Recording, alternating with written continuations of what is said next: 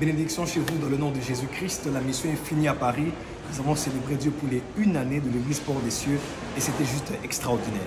Ce week-end, je serai avec vous à l'église Port des Cieux Kinshasa, déjà ce vendredi, à notre culte de délivrance et de préservation de famille de 16h à 20h et je parlerai du thème Les paroles qui nous lient, deux points, les vœux.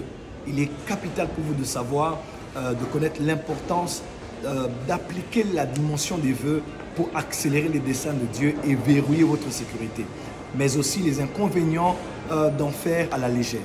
Ce dimanche, c'est vraiment spécial.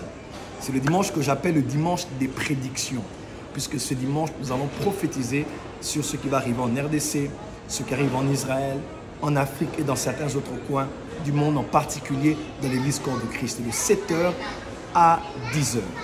Venez vraiment très nombreux et soyez très nombreux connectés parce que le Dieu des esprits des prophètes a encore une parole à dire aujourd'hui concernant Israël, l'Église et les nations.